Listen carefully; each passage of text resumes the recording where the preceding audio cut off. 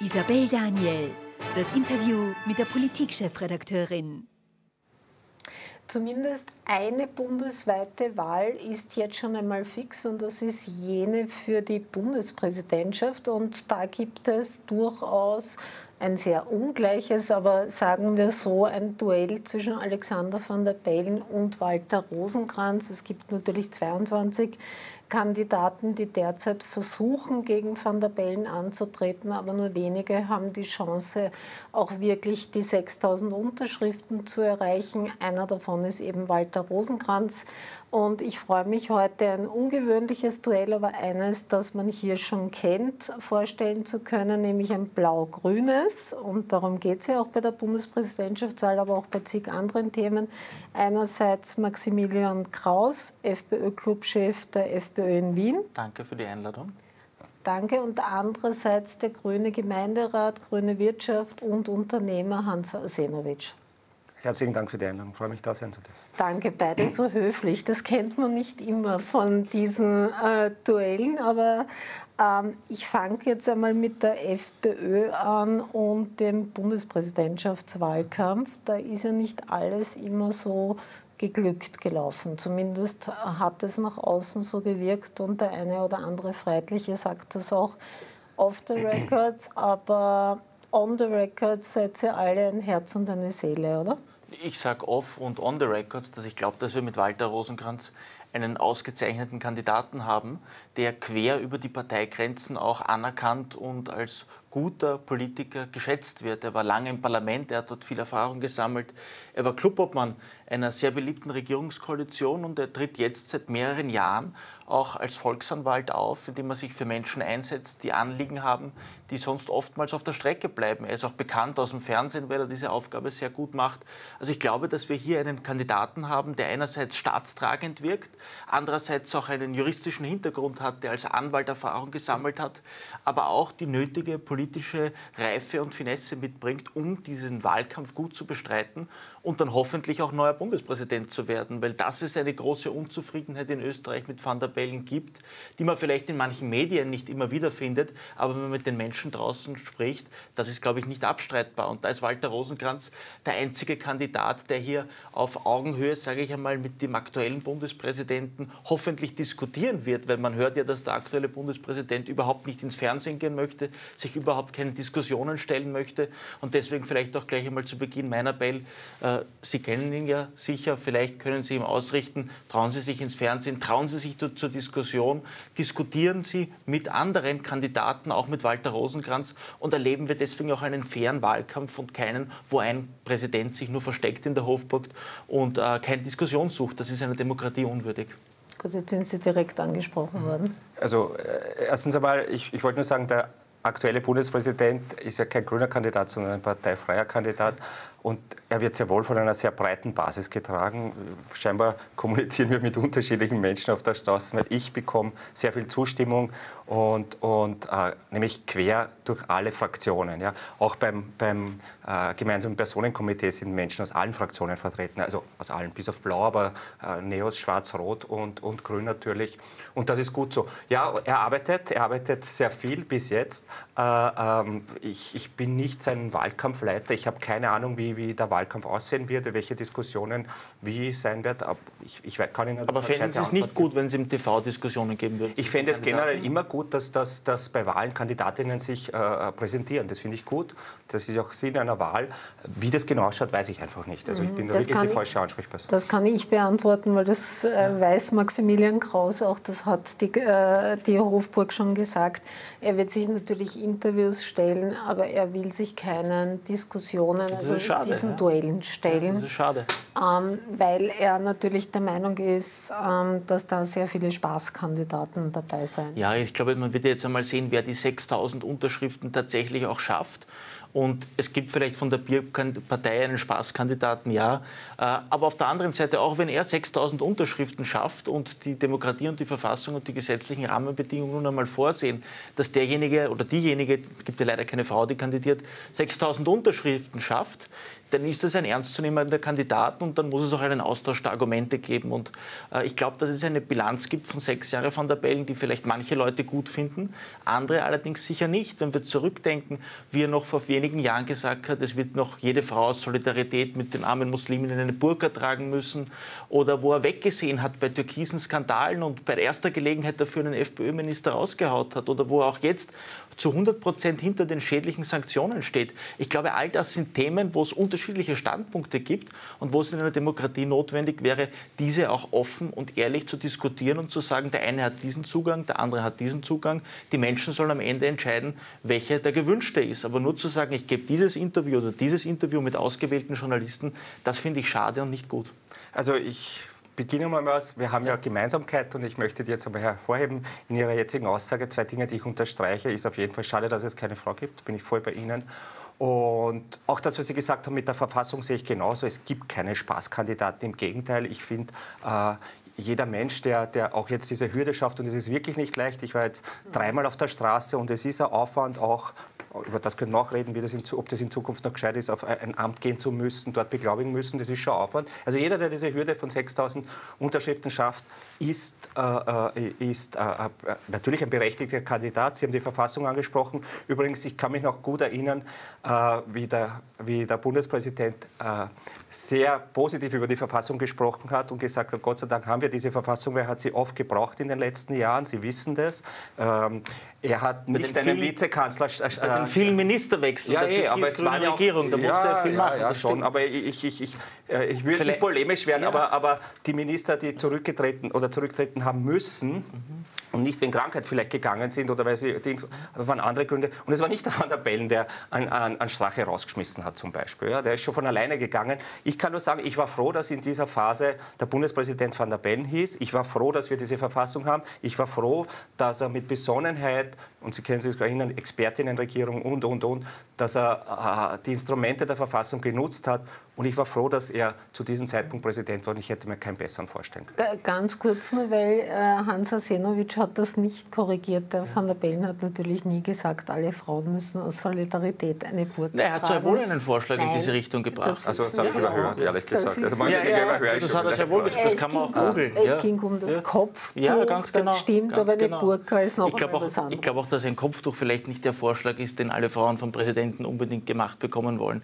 Also ich glaube, wir sehen hier, dass es eine Vielzahl an Themen gibt, die viele Menschen auch anders sehen als er. Und da können wir vielleicht abschließend zum Punkt 1 festhalten, dass es schade ist, dass er sich keiner TV-Diskussion stellt. Auch da bin ich bei Ihnen. Ob, dass er viel zu tun hatte, ja, stimmt. Aber ich glaube, am meisten zu tun hatte er in den letzten Jahren damit, türkis-grüne Minister wie bei der Drehtür rein und raus zu schicken. Und da könnte man vielleicht auch sagen, vielleicht hätte er da auch einmal die Qualität der Minister besser prüfen können und besser prüfen sollen, weil dass wir drei Bundeskanzler in Rekordzeit haben, dass mehrere Gesundheitsminister sich die Klinke geben, dass so viel Regierungspersonal dauernd ausgetauscht werden muss und der Bundespräsident eigentlich nichts anderes macht, als den ein Notar den Stempel draufzuhauen, ohne vielleicht auch einmal zu schauen, ist das Personal überhaupt qualifiziert, das da vorgeschlagen wird. Das ist vielleicht doch auch zu wenig und ich glaube, dass man auch hier durchaus kritisch sehen kann, wie er sich in diesen Bereichen verhalten hat. Das ist ja auch etwas, das äh, manche Grüne kritisch sehen, hinter vorgehaltener Hand. Was meinen Sie jetzt konkret, dass, dass es Ministerinnenwechsel gegeben nein, hat? Oder, dass es so viele Kanzlerwechsel gegeben hat, natürlich eher die ÖVP-Wechsel, dass es viele also Skandale Also Kanzler war nur die ÖVP. Und, äh, genau, und also, auch Minister, also jenseits ja. der zwei Gesundheitsminister der Grünen, die aber teils aus anderen Gründen... Ich, ich möchte aber schon sagen, sind sechs Jahre Bundespräsident, zwei Jahre äh, Grüne in der Regierung. Ich möchte das in Relation stellen. Die Minister, es waren Männer, die in, von den Grünen gegangen sind, sind aus ganz anderen Gründen gegangen, wie die FPÖ-Minister davor und auch die äh, ÖVP-Bundeskanzler zum Beispiel. Da hat es Skandale gegeben, die haben gehen müssen und da hat es Videos gegeben und, und, und.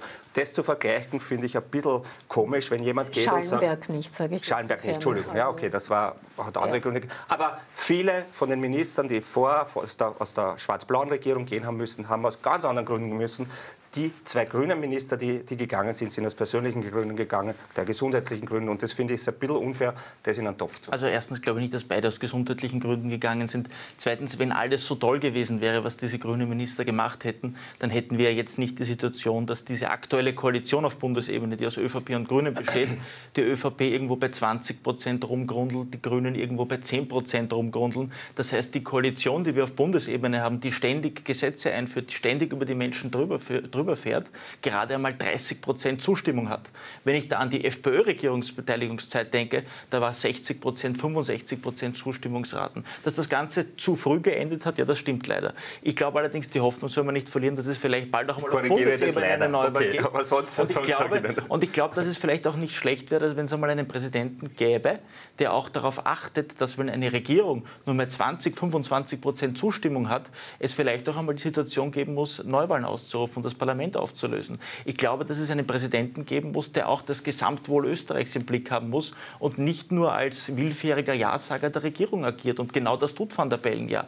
Und ich glaube, gerade in einer Zeit, wo es eine schwarz-grüne Bundesregierung gibt, die viele, viele unpopuläre Maßnahmen durchsetzt, wo es viel Kritik gibt, braucht es in dem Präsidentschaftsamt einen Gegenpol, braucht es einen freiheitlichen Kandidaten und gibt es mit Walter Rosenkranz hier, glaube ich, auch ein Angebot, wo niemand sagen kann, dass der nicht ernst zu nehmen ist, dass das ein Radikaler ist oder dass der dem Amt Schaden zufügen würde. Nein, ganz im Gegenteil. Mit Walter Rosenkranz gibt es einen Anwalt, einen Volksanwalt, einen Juristen, einen Parlamentarier, jemanden, der dieser Regierung auf die Finger schauen würde. Und genau das ist, glaube ich, das, Herr Kraus, was Österreich jetzt eine perfekte braucht. Rede von Walter naja, Rosenkranz gehabt. Ich, ich finde das gut, Sie sind von der FPÖ, der FPÖ-Kandidat. Sie das, machen das perfekt. Das, ist, ich, das ist keine Rede. Das, ist, nein, es ist perfekt. Ich liste die Fakten auf. Ja, okay, einverstanden. Wir werden diese Wahl haben. Ja? Ich kann nur sagen, ich bin froh, dass während des Ibiza-Skandales Campbell auch Bundespräsident, ich will mir das gar nicht ausmalen, was da gewesen wäre, wenn das so gewesen wäre. Ich bin froh, dass der Bundespräsident damals Van der Bellen hieß, bei all diesen Skandalen, die da, da waren.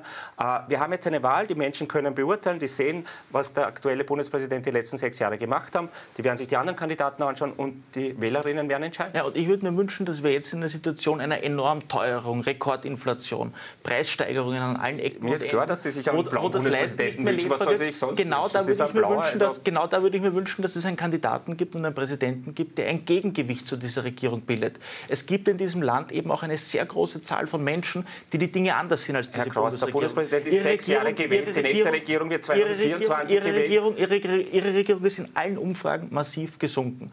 Jetzt wieder einen Bundespräsidenten zu haben, der alles nur abnickt, ich glaube, dass das viele Menschen nicht wollen. Und ich glaube, dass wir jetzt vielleicht eine Umfragesituation haben, wo Alexander van der Bellen weit vorne ist. Gratulation. Also gut, Sie glauben das, aber wir werden es im Herbst Aber auch wissen. 2016 hat Norbert Hofer aufgeholt und ich sage Ihnen, eine ähnliche Aufholjagd wird es jetzt okay. noch geben. Mhm. Da gibt es aber, ja. Aber einen Unterschied mhm. zu 2016, abgesehen ja. davon, dass es unterschiedliche ja. Äh, Kandidaten sind und das ist, dass gleich mehrere mhm. versuchen, für das Amt zu kandidieren, mhm. die zumindest dem einem ähnlichen politischen ja, stimmt, Spektrum stimmt, entspringen. Also einerseits Gerald Groß, der den Leuten ja auch von diesem Sender bekannt ist, mhm. ex-FPÖ und BZÖ. Äh, andererseits jetzt auch Tassilo Valentin. Äh, mit dem er Herbert Kickl sogar Gespräche geführt mhm. hatte über eine Kandidatur mhm. und das letzte noch den Chef der Impfgegnerpartei NFG. Okay, ja, also ich glaube, wir werden, eben, wir werden, aber wir werden immer, ja, ja, aber ich meine als Konkurrenz ja. zum FPÖ. Wir werden einmal sehen, wir werden einmal sehen, äh, wer die 6.000 Unterschriften schafft. Dann werden wir sehen, wer am Stimmzettel ist. Und dann glaube ich, ist natürlich die erste große Hürde, dass es in eine Stichwahl kommt, weil wenn die Wahlbeteiligung niedrig ist dann ist es umso unwahrscheinlicher, dass es in eine Stichwahl kommt. Wenn viele Leute wählen gehen und von mir aus manche MFG wählen, manche die Bierpartei wählen, dann ist das ja im Gesamten kein Nachteil für eine Stichwahl. Ich wünsche mir, dass möglichst viele Leute FPÖ wählen und, und Walter Rosenkranz schon in der ersten Runde unterstützen. Ich bin mir aber mehr als 100 Prozent sicher, dass es, wenn es zu einer Stichwahl kommt, sich die zwischen Van der Bellen und Walter Rosenkranz abspielen wird. Und wenn diese zwei Kandidaten dann einander gegenüber am Wahlzettel sind in einer Stichwahl, dann sind alle Chancen intakt. Und dann halte ich es für möglich, dass es hier eine Überraschung gibt, ja. Mhm. Also ich bin mir nicht, um Wenn wir Worte zu verwenden, würden, dann müssten wir gar nicht antreten. Ich bin mir nicht mehr als hundertprozentig sicher, dass wir eine Stich. Also ich, ich, ich, ich kann nur sagen, es gibt im Herbst diese Wahl. Mhm. Äh, ich finde nichts Schreckliches an einer Wahl. Im Gegenteil, es sollen die Kandidatinnen ihre Ideen vorstellen. Die Kandidaten. Äh, die Kandidaten. Und ähm, äh, der Van der Bellen hat natürlich in dem Fall schon bewiesen, äh, wie er das Amt anlegt. Äh, die anderen werden ihre Ideen erzählen und die Bevölkerung und die Menschen werden abstimmen. Mhm. Da, dass Sie hoffen, dass der FPÖ-Kandidat gewinnt, ist jetzt nicht so verwunderlich. Aber, das, ja. das, wundert uns jetzt nur bedingt, aber... Äh, Genauso verwunderlich, ist, wie Sie für Van der Bellen sind. Deswegen ist auch wir ja nicht da. verwunderlich, ja. richtig. Genau deswegen wollen wir ja diese Polarisierung hier haben, das ist korrekt. Ja. Äh, aber gleichzeitig ähm, gibt es so ein bisschen die Stimmung. Es gibt die Umfragen, die Van der Bellen sehr deutlich voransehen, also irgendwo mit 60 Prozent.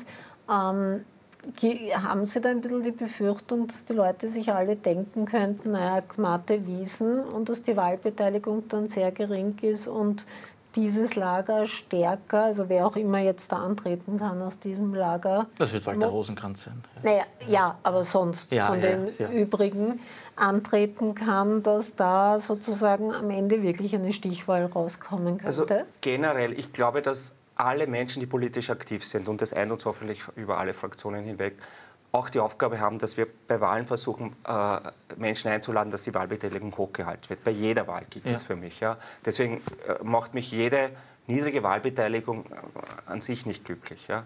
Ähm, ich glaube, es sind jetzt noch so viele Unschärfen. Wir wissen wirklich nicht einmal noch, ja. wer jetzt wirklich die 6000 Unterstützungserklärungen schafft. Jede Umfrage geht von irgendwelchen Annahmen aus ich würde jetzt wirklich nicht Kaffeesud lesen, wie hoch die Wahlbeteiligung dann sein wird. Ich weiß es, hängt ab vom Wetter ab, an, den, an dem Tag zum Beispiel auch.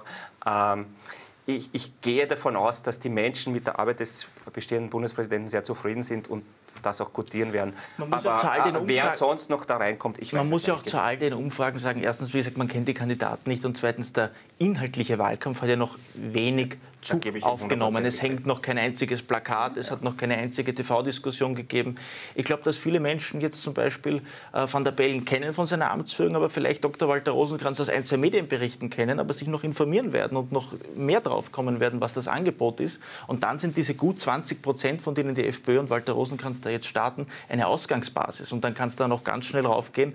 Und das Ziel muss die Stichwahl sein, das Ziel muss dann sein, in einem Kopf-an-Kopf-Rennen mit Van der Bellen sich vielleicht auch zu, durchzusetzen. Mhm.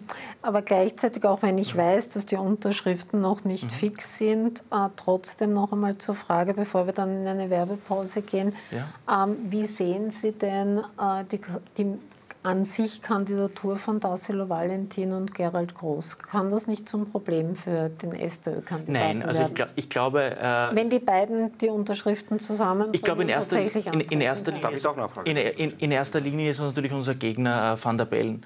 Äh, in zweiter Linie, wie gesagt, jeder Kandidat, der antritt, der die Unterschriften schafft, ist legitimiert zu kandidieren, ist äh, auch natürlich deswegen wählbar. Ich glaube allerdings, dass viele Menschen am Ende doch das Original, nämlich die FPÖ, wählen werden, weil sie wissen, dass nur eine Stimme für Walter Rosenkranz eine Stimme ist, die auch tatsächlich etwas bewegen kann, weil er der einzige Kandidat ist, der tatsächlich die Chance hat, äh, Van der Bellen zu besiegen, weil er der einzige Kandidat ist, der auch bereits einen politischen Lebenslauf hat, der von Erfahrung zeigt, der auch eine Partei im Hintergrund hat, die Dinge äh, auch umsetzen kann und weil er einfach der ist, der für die größte Glaubwürdigkeit in diesem Bereich steht. Und da werden viele Leute, die sich vielleicht einmal informieren, dann am Ende erkennen, dass Dr. Walter Rosenkranz der Kandidat ist, der wertkonservative Themen, der Mitte-Rechts-Themen und der Themen. Darf ich da nur eine äh, Frage stellen, die mich wirklich kann, interessiert? Es es ja. ist, äh, wiederholen jetzt nochmals, ja. dass Sie überzeugt sind. Also Sie haben gesagt, ja. mit mehr als hundertprozentiger Sicherheit.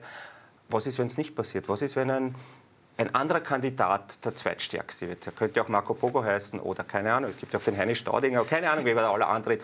Wie würden Sie dann reagieren? Oder wenn er Valentin hat, was, was, wäre das, was würde dann in der FPÖ passieren? Wäre das, mich, mich würde ich würde dann gerne mit Ihnen dann wieder sitzen. Meine, und, und, jetzt übernimmt also, du meine Rolle, weil na, eigentlich aber, will ich das Thema aber, aber mich, später ansprechen. Okay, Entschuldigung. Aber, aber, mich würde interessieren, wen würden Sie, Nein, Stichfall nicht, Brunner gegen Pogo, so, Sie sagen jetzt eine Frage mit einer Gegenfrage. Ja, das okay. ist, das ich ist ja absurd. Aber Brunner gegen, Brunner gegen Pogo, das ist ja völlig absurd, wenn man da jetzt irgendwelche Duelle, die es nicht gibt, herauf äh, fantasiert. Es wird eine Stichwahl geben zwischen Van der Bellen und Rosenkranz okay. wer dann gewinnt. Wenn es nicht so ist, sitzt man ja. wieder da und dann erinnert ja. sich ich glaube auch Sie daran, so dass Sie das gesagt haben. Okay, ja, okay, Ihr werdet so und so wieder da sitzen, aber ich werde ihm die Frage ein bisschen anders noch einmal stellen, weil es würde mich natürlich auch interessieren, was in der FPÖ los wäre, wenn zum Beispiel Tassilo Valentin und Gerald Groß verdammt nahe an den FPÖ-Kandidaten herankämen, über das und über die Performance der türkis-grünen Regierung Sendung reden wir gleich nach der Werbepause weiter. Bleiben Sie dran. Isabel Daniel, das Interview mit der Politikchefredakteurin. Willkommen zurück zu unserem Duell Grün gegen Blau und Blau gegen Grün. Maximilian Kraus von der FPÖ und Hans Arsenowitsch von den Grünen. Guten Abend. Ähm, ich schließe dort an, wo Ihr Kollege Arsenowitsch vorher einen Ausflug in den Journalismus versucht hat und stelle die Frage Sie aber können anders. Es viel besser, wirklich. Das passt schon. Jeder kann Fragen stellen. Ähm, also ich rede jetzt gar nicht von Stichwahl, aber gehen wir einmal davon aus und Umfragen gehen ein bisschen in die Richtung, dass natürlich, wenn Gerald Groß und Tassilo Valentin beide die Unterschriften zusammenkriegen würden, da durchaus Wähler aus dem gleichen Segment kämen. Was würde in der FPÖ tatsächlich passieren, wenn, sagen wir, äh, Walter Rosenkranz dabei 16 Prozent liegt und Gerald Groß und Tassilo Valentin bei 10? Es gibt in, der, in den Medien immer irrsinnig Sie viel Spekulationen, lustig, immer irrsinnig viel Spekulationen, was passieren könnte, wenn jemand dort liegen würde. Was, was soll denn in der FPÖ passieren?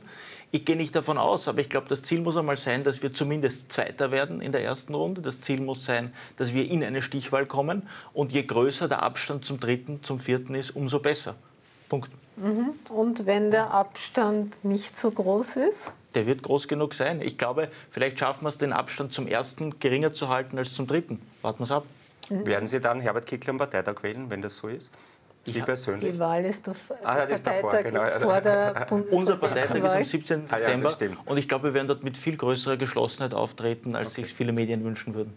Wünscht sich. Äh, Also das ist gut. Dann gibt er Ja. mir jetzt ein Stichwort. Also die FPÖ ist total geschlossen und es gibt keinerlei Konflikte zwischen der Wiener FPÖ und Herbert Kickl. Nein, also wir haben Herbert Kickl vor gut Haben Sie ihn einem- eingesetzt? Wir- wir- Nein, es gibt, auf welche Nein, es Frage gibt, es, gibt, es gibt diesen Konflikt, den man in vielen Medien liest, nicht. Wir haben vor einem Jahr Herbert Kickl, glaube ich, knapp 90 Prozent gegeben am 88, Parteitag. ja. Und ich bin sicher, dass es dieses Mal ein ähnliches, vielleicht sogar besseres Ergebnis sein wird.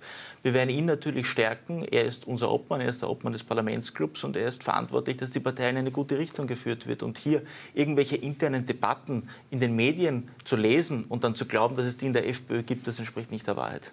Mhm, Da muss er selber lächeln. Ähm, also Aber die Anzeige ist, kam nicht von den Medien. Oder ich meine, es ist jetzt nicht meine Baustelle und ich will mir jetzt nicht in innerparteilichen Diskussionen und, und, und es hat eh jeder seine eigenen Baustellen wahrscheinlich. Aber das, das ist, dass Sie sagen, da gibt es überhaupt nichts und alles ist super. Also ich, ich, ich, ich als bisschen Beobachter und auch schon ein bisschen länger dabei, ich habe kaum so eine Phase innerhalb der FPÖ, also nicht einmal Knittelfeld und BZÖ. Ich glaube, ich habe das nicht Ja. so arg empfunden damals wie es jetzt. Aber wie gesagt, das geht mir nichts an. Wenn Sie sagen, es ist eh alles super, dann ist halt Aber alles Herr, super. Herr Senowitsch, Sie wissen, Nein, okay, Sie wissen, dass es hier einen Mitarbeiter gegeben hat, der das stimmt, der eine Anzeige eingebracht hat oder zumindest auf seinem Laptop hatte. 60, oder? Sie wissen aber auch, Sie wissen aber auch, dass es hier einen Selbstmordversuch gegeben Ja. hat, einige Tage Eh. darauf, und dass wir uns jetzt darüber verbreitern, was da die Schuld ist oder Nein, nicht. eh nicht. Ich, es ist war nicht die das, was Diskussion, ich hier haben gesagt, es ist alles super in der FPÖ und deswegen habe ich glaub, gesagt, und das ich, ich... und, und ich glaube, bei einer Umfragensituation von den, bei den Grünen bei 10 Prozent sollten Sie sich vielleicht andere Gedanken Nochmal, machen. wenn Sie finden, dass als, alles als super ist, darüber, dann als darüber was ein, das was so ein ehemaliger Mitarbeiter des Parlaments Lassen wir das so stehen, wenn Sie sagen, es das ist ist nicht die Aufgabe. Machen Sie sich lieber Gedanken, was Sie gegen die Teuerung tun könnten. Hier gibt es viel Potenzial. Machen Sie sich Gedanken aus Ihrer eigenen Sicht, wie Sie Ihre eigenen Umfragen besser machen können. Die liegen am Boden, die sind im Keller, die sind katastrophal. Machen Sie sich Gedanken, wie Sie diese ganze Krise, mit der sich die Österreicherinnen konfrontiert sind, bewältigen können. Alles wird teurer, die Grünen nicken es ab. Dann reden wir Alles über wird das. teurer, Okay, dann die reden wir über Grünen das, sind mit dabei. Das Reden wir über konkrete. Vorschläge. Reden, wir gerne wir darüber. das, ja. Reden Wir wir reden darüber. das erste Mal über die, über die. Umfragen. Grundsätzlich, es hat ein FPÖ-Präsidium gegeben am Mittwoch und äh, da wurden Nibelungenschwüre ausgemacht und man will auch die Bundespräsidentschaftswahl jetzt nicht äh, gefährden. Auch die Tirolwahl FPÖ-Sicht. wahrscheinlich nicht. Aber noch einmal, es ist nicht mein, meine Baustelle und ich... Und Dafür machen Sie sich aber ganz viel Gedanken. Nein, überhaupt nicht. Ich, ich war nur überrascht, wie Sie gesagt haben, es ist alles super und es, es gibt diese Sachen nicht. Und ich denke mir, okay, wenn der Zustand für Sie super ist, dann will ich nicht wissen, wie es... Aber okay, es ist nicht meine Geschichte. Ja, ich höre schon auf, okay. Äh, gleichzeitig ist nicht vergleichbar mit den, mit den Situationen, auf die wir jetzt aus diversen Gründen nicht näher eingehen. Noch einmal, aber trotzdem auch nicht in einem Aufwind ist gerade die türkis-grüne Regierung. Im Gegenteil, ähm, in sämtlichen Umfragen kommen tatsächlich Türkis und Grün nur noch auf ungefähr 30 Prozent Zustimmung. Und auch in sämtlichen Umfragen in den Vertrauenswerten sieht man eine echte Vertrauenskrise gegenüber dieser Koalition. Also gut laufen schaut auch anders aus, oder? Bin ich bei Ihnen. Also wir haben es ja auch nicht leicht gehabt, das Grüne, muss man ehrlich sagen. Äh, dritte Bundeskanzler, äh, Skandale beim Koalitionspartner, die passiert sind und, und, und. Äh, das haben andere Länder nicht gehabt. Dann die vielen Herausforderungen, Krisen, ich zähle jetzt nicht alle auf, Sie kennen sie. Was generell natürlich für Regierungen äh, äh, schwierig macht. Ich sage nur, während der Corona-Zeit auch eine Parlamentspartei, die, die, die fundamental da, da, dagegen gearbeitet hat, was in anderen europäischen Ländern so auch nicht gegeben hat. Also es waren schon viele Faktoren, die es nicht leicht machen. Die Situation ist so, wie sie ist. Ähm, die ist nicht befriedigend, bin ich voll bei Ihnen. Umso mehr gibt es jetzt Arbeiten, Arbeiten, Arbeiten, weil was uns ja eint, auch uns zwei, Herr Kraus, wir sind angetreten, um Lebenssituationen von Menschen zu verbessern. Ja?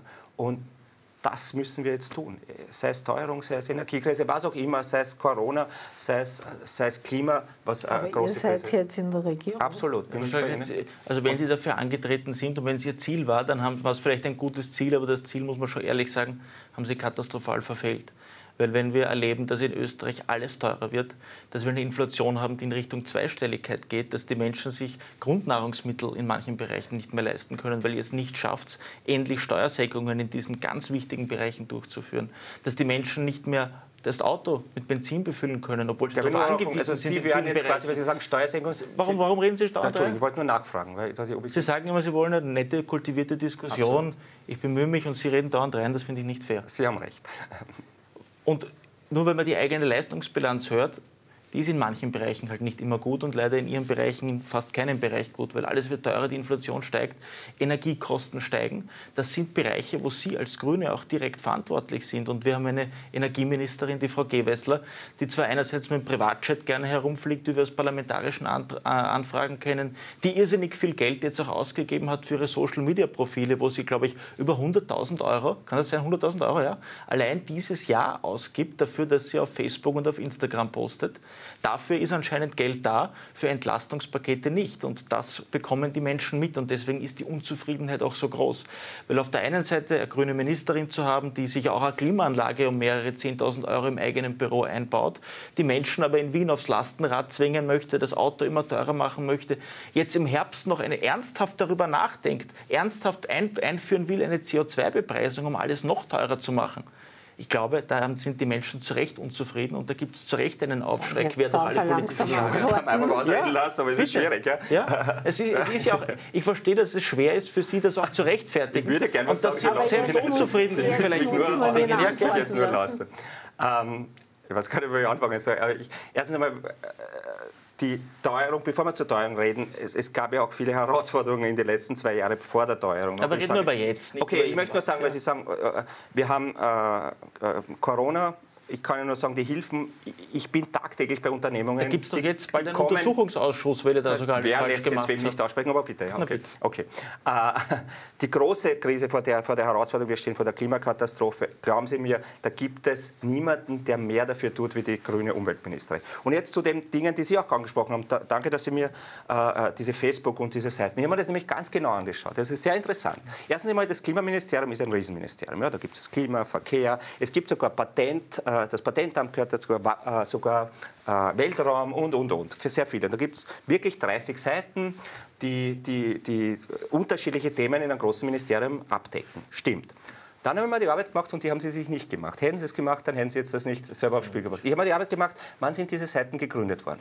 Und dann sehe ich, das ist schon jahrelang her. Und dann schaue ich mal, wer war damals Verkehrsminister, wie diese teuren Seiten gegründet worden sind. Ich gebe Ihnen einen kleinen Hinweis. Er heißt mit Familiennamen Hofer. Nein. Und, und jetzt sagen Sie mir, von welcher Partei dieser Herr Hofer ist. Nein, hat er nicht. Sie, ich habe mir es angeschaut, Sie scheinbar nicht. All diese, viele dieser Seiten, nicht alle, also zum Beispiel Klimaticket ist neu und, und, und. Weltraumseite, Patentseite, all diese Seiten, die, die Geld kosten, die ich, ich würde jetzt gar nicht äh, abstreiten, ob das damals notwendig war oder nicht oder jetzt noch notwendig, wurden unter anderem von einem Verkehrsminister Hofer gemacht. Also, und jetzt sagen Sie, die Gewessler ist schuld, dass der Hofer Na, jetzt muss ich Ihnen aber schon kurz antworten. Jetzt muss ich, schon kurz. Ja. ich weiß nicht, vielleicht sind Sie nicht so Social Media affin.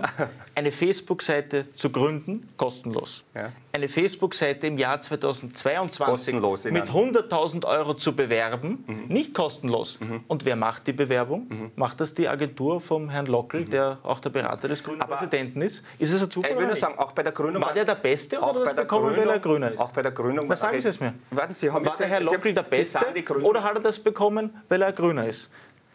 Na, so, was? Auch bei der Gründung. Nicht einmal Sie können sagen, dass der Grüne Ich bin bei der Ausschreibung nicht dabei, ich war auch nicht bei der Ausschreibung ja, von Hofer dabei. Aber wenn Sie sagen, der Hofer hat hier alle Seiten bitte, für sein Ministerium bitte. gratis bekommen, muss ich sagen. Und, und, und, und, und wenn Sie Aber jetzt haben wir schon wieder dort. Reden wir über, reden wir über. Und wenn Sie da jetzt ernsthaft sagen, diese Kosten sind so explodiert, weil Sie jetzt plötzlich auch für den Weltraum zuständig sind. Also ich glaube, die Österreicher, die brauchen nicht, dass die Frau Gewessler sich jetzt auch noch für den Weltraum zuständig das wird. Das Hofer Die bräuchten, dass Sie jetzt einmal die Gebühren in Österreich senken, ich will nur sagen, wer in Glashaus sitzt, sollte nicht mit Steinen werfen. Bitte, bitte, bleiben Sie da ein bisschen realistischer und, und versuchen Sie nicht die Verantwortungen, die im Jahr 2022 an Kosten entstehen, fünf Jahre zurückzudatieren. Mit Herrn Hofer als, als Verkehrsminister waren die Menschen übrigens sehr zufrieden. Da ist echt was weitergegangen. Ja, wenn wir 140 auf der Autobahn fahren, ist sehr, sehr viel weitergegangen. Ja. Aber jetzt sind wir schon wieder in dieser Polemik. Wenn man so ein starkes Auto hat wie Sie, dann zahlt sich das ja auch, dann zahlt sich das ja auch aus. Aber wie sich das wieder mit der Frau Gewessler ausgeht, weiß ich auch Wir reden konkret und versuchen über konkrete Vorschläge, wie man den Menschen... Aber dann stelle ich Ihnen ein paar konkrete Fragen. Sie, Sie, wir sitzen ja gemeinsam im Wiener Gemeinderat und Landtag. Jetzt auch wir sitzen gemeinsam im Wiener Gemeinderat und Landtag. Ja, offenbar wollen Sie beide lieber Journalist werden. Wir sitzen beide im, Gemeinde, im, im, im Gemeinderat und Landtag. Warum lehnen die Grünen in zehn Jahren grüner Regierungsbeteiligung jeden FPÖ-Antrag im Klimaschutzbereich ab? Sie selbst sind seit fünf Jahren gut im Wiener Gemeinderat. Warum lehnt sie jeden Klimaschutzantrag von uns ab? Wir haben eingebracht in Wien die Gemeindebauten, bei denen es möglich ist, mit Solaranlagen auszustatten. Die Grünen waren dagegen. Ich verstehe es nicht. Ihr stimmt gegen jede Maßnahme im Klimaschutzbereich, die von der FPÖ kommt, nur weil sie von der FPÖ kommt. Findest du das, finden Sie das vernünftig? Ich nicht. Warum gibt es aber auch in anderen grün regierten Bundesländern wie Tirol oder Salzburg kein einziges Windrad? Also ich glaube, dort, wo man wirklich Dinge umsetzen könnte, ohne die Menschen zu belasten, dort sind die Grünen dagegen. Und dort, wenn es darum geht, zusätzliche Steuern einzuführen, das Leben teurer zu machen, sinnlos Sanktionen zu verhängen, die Inflation damit damit anzufachen. Da sind die Grünen von dabei und gleichzeitig fliegt die grüne Ministerin dann mit dem Privatjet nach Katar, um dort Öl einzukaufen. Und jetzt sperrt es die Kohlekraftwerke Gas. wieder auf. Gas. Es ist alles so absurd, es ist alles so absurd und dann hier sich darauf auszureden, dass das mit dem Weltraum zu tun hätte, weil man dafür auch zuständig ist. Und außerdem war 2017 der Herr Hofer Minister, der hätte es auch nicht besser gemacht. Das ist wirklich peinlich und das ist politisch fahrlässig und die Menschen in Österreich bezahlen diesen Blödsinn und das ist das wirklich Traurige. Okay. Äh, erstens habe ich gesagt, zu seiner Zeit wurden diese Seiten gegründet und wenn Sie mir sagen, Seiten gründen, wurden auch von Agentur gemacht. Ich wollte es nur gesagt haben, ja, dass man, weil, weil, äh, weil ihr macht es euch leicht und sagt, äh, ich finde es ja kurz bei sowas zu sagen, aber okay. Äh, zu, den, zu den Argument, ich erkläre Ihnen jetzt nicht den Unterschied, was heißt regieren, weil Sie sagen, die Grünen regieren oder mitregieren, in gerne Koalitionspartner zu sein. Und glauben Sie mir, dass auch in den westlichen Bundesländern Grüne immer für, für alternative äh, Energie waren und auch für Windkrafträder und, und, und. Und dass, dass wir aber dort nicht die Landeshauptmenschen stellen, zum Beispiel. Äh, auch in Wien kann ich Ihnen sagen... Auch noch nie gehört. Echt nicht? Der Landeshauptmensch? Entweder es gibt einen Landeshauptmann oder Landeshauptfrau, aber Landeshauptmensch klingt Na, doch sehr gut. Aber ich, ich, ich, gebe Ihnen gerne Nachhilfe in, in, in Gendern. Nein, wir hatten nein. auch in Niederösterreich zum Beispiel eine Frau, aber okay. Es ist eine Landeshauptfrau, und nicht eine Landeshauptmensch. In Wien, in Wien, in Wien. Ich glaube auch die niederösterreichische Landeshauptfrau sagt, sie ist der Frau Landeshauptmann, aber bitte, bitte sagen Sie Mensch und, und 17 Geschlechter bleibt Ihnen überlassen. Ja. Sind wir jetzt wieder bei der Polemik, ja, oder? Ja, ähm, in einem Punkt gebe ich Ihnen sogar recht. Ich bin schon, ich finde es auch blöd in der politischen Landschaft, und das passiert leider in allen Parlamenten und allen Fraktionen, dass man reflexartig Ideen von anderen Parteien. Aber warum macht das denn immer bei uns? Prinzipiell schickt. Aber Sie kennen mich und, und ich tue das nicht. Ja, ich tue das in meinem, in, in meinem Einzugsbereich, wo ich äh, in der Wirtschaftskammer setze ich mich sehr wohl auch ein, dass das dass, dass ernsthaft mit allen Fraktionen diskutiert wird. Ich leite zum Beispiel jetzt gerade eine große Arbeitsgemeinschaft in der Wirtschaftskammer mit allen Fraktionen, wo wirklich gut zusammengearbeitet wird. Also es geht schon, wenn man will. Leider ist die politische Kultur in ganz Österreich, in allen Fraktionen, da noch nicht so weit. Und da würde ich mir wirklich mehr wünschen. Da bin ich voll bei Ihnen. Ähm, Was, was Wien betrifft. Ihr müsst euch übrigens entscheiden, ob ihr per Du oder per Sie seid. Ihr wechselt die ganze Zeit vom Sie zum Du. Ich sag's nur. Äh, in, äh, in, Wien, wissen Sie, sind wir nicht mehr in der Regierung. Also was soll ich Ihnen sagen? Also es ist schon fast zwei Jahre her. Ich sage es Ihnen, falls das nicht mitbekommen habe, es ist jetzt Rot Neos. Äh, äh, das kann man fast nicht, mitbekommen, weil der Trennungsstreit, der sitzt ja noch immer tief bei den Wiener Grünen und vor allem auch zum Beispiel Projekte, die wichtig waren für, für Wien, wie die Stadtstraße, die ja auch grüne Stadträtinnen mitgeplant haben, die ihr plötzlich boykottieren wolltet und illegale Demonstrationen unterstützt habt. Das war schon mehr als verwunderlich. Also, dass ihr nicht mehr in der Regierung seid, das kriegt man insofern mit. Herr Gauss, Sie sagen, es soll nicht polemisch sein, Sie kommen von Teuerung auf Stadtstraße, man, man illegale Demos. Man kriegt es nur leider doch mit, weil die, man, man kriegt es nur, leider insofern doch wieder nicht mit, weil die Neos sich ja sehr ähnlich wie ihr verhaltet. Die sind ja auch völlig in der SPÖ aufgegangen. Also den Vizebürgermeister Wiederkehr, Gut, jetzt den kennt man ja gar nicht. Reden wir vielleicht wirklich konkret über unsere Ideen, die, die Sie haben, vielleicht auch im, im Teuerungsausgleich. Mir würde das wirklich interessieren, weil Sie haben ja gerade gesagt, was sind jetzt Ihre Ideen, äh, um, um, um die Teuerung zu bekämpfen? Ich habe rausgehört, Mehrwertsteuer senken, habe ich das richtig verstanden? Mehrwertsteuer senken auf Grundnahrungsmittel, äh, Preisdeckel einführen bei Energie und Sprit, wie es andere Länder machen. Viele Österreicher sind aktuell in Ländern wie Kroatien, Slowenien, Montenegro. Beide Punkte sehe ich ganz anders wie Sie, aber über, über das möchte ich über, konkret zum Beispiel diskutieren. Viele Österreicher sind gerade im Ausland, im nahen Ausland, in Kroatien, in Montenegro, in Serbien, äh, in, in, das, in, in Slowenien auf Urlaub und kommen zurück und tanken dort noch einmal voll, weil dort der Sprit nur 1,50 kostet. Dann fahren sie nach Österreich über die Grenze und, und müssen über 2 Euro zahlen. Warum?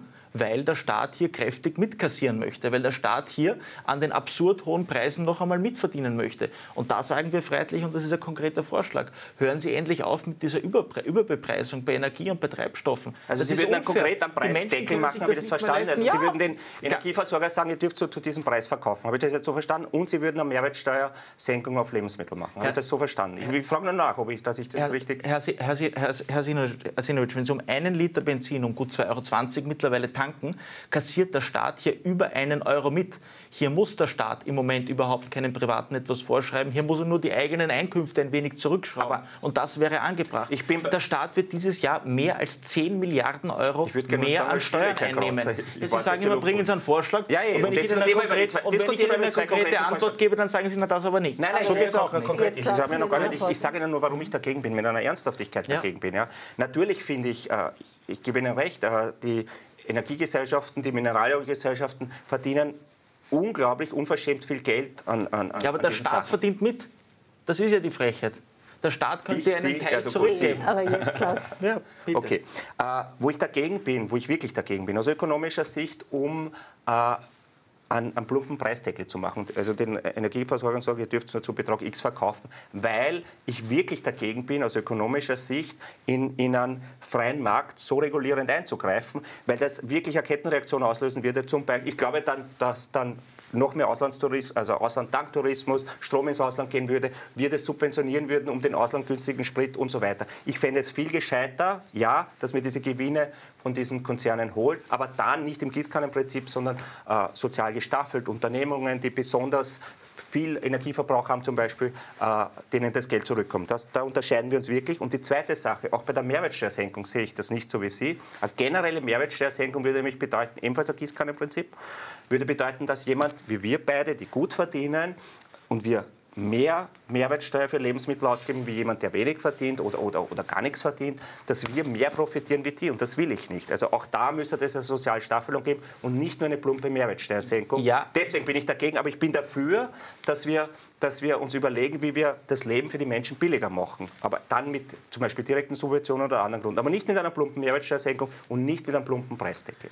Ich halte unseren Vorschlag für deutlich besser, weil es ist mittlerweile so, dass nicht mehr nur die Ärmsten der Armen schwerst betroffen sind von diesen Preissteigerungen, sondern es gibt auch irrsinnig viele Leute, die vor kurzem zur Mittelschicht gezählt haben. D'accord, aber wir werden mehr profitieren wie die. die ganz normal wir beide profitieren die, mehr wie die. Wir beide brauchen es nicht. Aber, naja, aber wir profitieren es, ja dann, wenn es mehr Aber wo ziehen Sie die Grenze ein? Es gibt Familien mit... mit Deswegen bin ich ja gegen eine Mehrwertsteuersenkung. Ich sag's ja, aus dem Grund. Es gibt Familien, die haben drei, vier Kinder, wo beide Eltern arbeiten und vielleicht unterm Strich ein gar nicht so schlechter Nettobetrag raus rauskommt, jedoch trotzdem aufgrund der extrem hohen Ausgabensituation und Kostensituation mittlerweile von dieser Krise existenziell betroffen sind. Also hier wieder nur zu sagen, man hilft den Leuten, die am Einkommen schwächsten sind, ist zu wenig. Also ich habe nicht das gesagt, ist dass ich richtig. Einkommen das ist, das gesagt. ist richtig, aber man muss hier nach oben ansetzen, weil von diesen Preissteigerungen sind auch alle Menschen betroffen. Ich habe gesagt, und hier zu sagen, brauchen- und hier zu sagen, man sucht einige Grundnahrungsmittel aus und auf die reduziert man die Steuern, das kann man nicht als schlecht darstellen. Da kann man nicht sagen, dass das alle Leute trifft, deswegen darf man es gar nicht machen. Nein.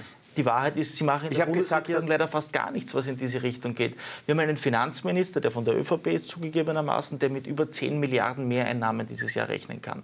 Das heißt, hier müsste man einen Teil dieses Geldes zurückgeben. Und wenn Sie sagen, man müsste große Konzerne anders besteuern, ja, aber warum tun Sie es nicht? Warum passiert es nicht? Also- das ist schade. Wollte gerade sagen. Also nochmal auf die Mehrwertsteuerdiskussion. Ich habe nicht gesagt, dass wenig Verdiener, sondern die brauchen natürlich Menschen, Familien mit vielen Kindern, brauchen das natürlich umso mehr. Und nicht geht nur auch das um Plump- Pensionisten. Ja, nicht nur das plumpe Einkommen, sondern wirklich, dass man auf das schaut. Das ist der eine Ja. Punkt. Der zweite Punkt, alle Länder, die versucht haben, Mehrwertsteuer zu senken, sind eigentlich auf die Schnauze gefallen, weil man kann die Konzerne auch schwer zwingen, dass sie diese Preise weitergeben. Das kommt ja dazu. Das ist passiert bei, bei denen, die die Mineralölsteuer einfach gesenkt haben und auch die, die Mehrwertsteuer. Hat nicht funktioniert, weil dann die Konzerne noch mehr verdient haben und es ist nicht angekommen. Kann ich nur sagen, da gibt es Erfahrungswerte. Ähm, und nicht tun, ist, das Gegenteil ist der Fall. Also wir haben jetzt das dritte Hilfspaket, die ersten waren 4 Milliarden, äh, jetzt kommt wieder ein großes Hilfspaket und ab August wird es man auch richtig spüren. Also es kommt jetzt die erhöhte Familienbeihilfe, die jetzt alle Familienbeihilfebezieher, der Familienbonus, es gibt erhöhtes Arbeitslosengeld, äh, es gibt ab Jetzt nicht alles September, ablesen, ab nicht alles September, es ablesen. ist so viel, dass ich mir das Ja, alles ja, nicht ja, merke, was wir da alles machen. Äh, ich habe da noch stehen, Familienbonus ab September 5 und ab Oktober Erhöhung des Klimabonus. und Familienbonus hat übrigens ja wirklich die FPÖ eingeführt. Hier könnten Sie mal sagen, was tatsächlich Ja, von uns erhöht, kommt. Ja. ich habe nie gesagt, dass alles schlecht ist von allen Regierungen, die davor waren. Gut, also ich will das ist jetzt noch einmal sagen. Das ist jetzt ein gutes Schlusswort. Es ist wieder versöhnlich. Es ist mitunter erstaunlich, wie, wie die zwei dann doch gut miteinander reden können. Aber wir sind ja dafür, dass es politischen Diskurs gibt zwischen allen. Danke Maximilian Kraus und danke Hans Danke, danke für die Einladung nochmal. Und Ihnen danke fürs Zusehen. Wir schalten jetzt in eine kurze Werbepause und dann geht spannend weiter.